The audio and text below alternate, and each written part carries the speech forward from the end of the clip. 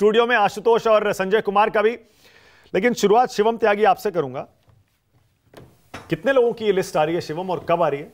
कुछ तो बताइए भाई।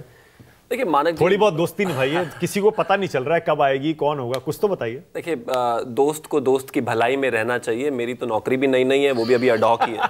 उसमें भी आप ऐसा कटाक्ष करके अगर चाहते हैं कि मेरी नौकरी चली जाए तो विषय अलग है okay. ये तो दोस्त वाली बात हुई लेकिन कार्यकर्ता होने के नाते भी मैं एक छोटा कार्यकर्ता हूँ और मुझे लगता है कि हाँ। वहाँ तक एक्सेसिबिलिटी नहीं है मानता हूँ कि जल्द ही जिस तरीके से बैठक हुई एक लंबी बैठक चली सवा तीन साढ़े तीन बजे आदरणीय प्रधानमंत्री जी निकले उसके बाद में गृह मंत्री जी निकले आधे घंटे बाद तो किसी हद तक कहीं ना कहीं जो चीज़ें प्लान हुई होंगी या जो फाइनलाइज हुआ होगा जनता के बीच में जल्दी ही आएगा लेकिन जो भी होगा मज़बूत होगा सरफटवल नहीं होगा लड़ाई झगड़ा नहीं होगा एक दूसरे को गालीबाजी नहीं होगी बड़ी हाँ। शांत और बहुत ही वो सौहार्दपूर्ण माहौल जो बार बार ये लोग कहते हैं अक्सर कहते थे ना इंडी वाले के सौहार्दपूर्ण माहौल में चर्चा हुई तो वो जब लिस्ट आएगी वो तो तब पता चलेगा ना जिसके काटेंगे टिकट तब पता चलेगा कि वो चुपचाप स्वीकार करता है फैसले को या नहीं करता है। आने तो दीजिए पहले कैडर बेस्ड पार्टियों की खूबसूरती होती है। हाँ कहीं ना कहीं ज़ाहिर है कि कोई व्यक्ति अगर पाँच साल चुनाव की तैयारी करे तो उसमें एक हल्का सा नाराज़गी कहिए या यूँ कहिए थोड़ा अपने आप में दुख होना अनिवार्य है। लेकिन बावजूद उसके अल्टीमेटली वो पार्टी के साथ पार्टी की विचारधारा के साथ और पार्टी की कैंडिडेट के साथ अच्छा चलते ही। अच्छा वोट तो मोदी के नाम पर पड़ना है। तो उम्मीदवार कोई भी हो उससे क्या फ़र्क पड़ता है? मेरा सवाल आप समझ गए ना?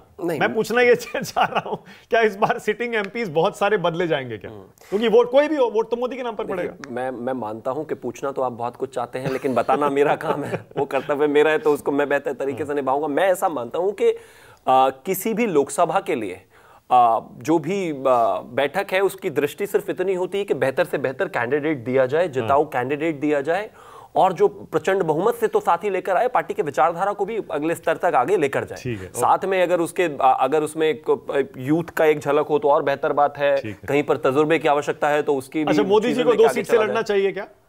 और दूसरी सीट क्या दक्षिण की हो सकती है जहाँ बीजेपी कमज़ोर है? मैं मानता हूँ कि मोदी जी का अप्रोक्सीमेटली जो एक्सपीरियंस है वो फॉर अबाउट लंबा चौड़ा है करीब हाँ। पचास साल का एक्सपीरियंस है। पचास साल बाद अगर आप और मैं ज़िंदा रहे तो मैं ज़रूर इस बात का जवाब दूँगा कि उनको लड़ना चाहिए था कि नहीं लड़ना चाहिए था। अभी मेरे पास इस बात का कोई जवाब ही नहीं है